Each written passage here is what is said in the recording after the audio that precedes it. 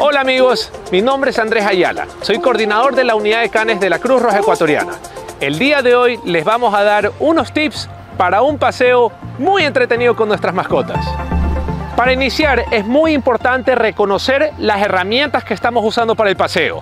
En este caso estamos usando una correa que no tiene más de un metro y medio a dos metros de largo.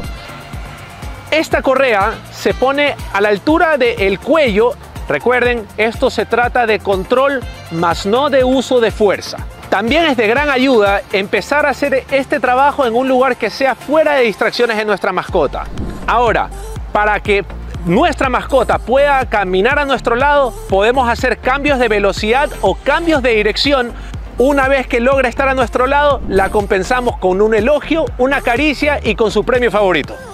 Recuerda, lo más seguro es que este ejercicio no salga a la primera, pero con mucha práctica y con mucha dedicación y muchas ganas, los ejercicios saldrán de manera muy natural. ¿Verdad, Shelby?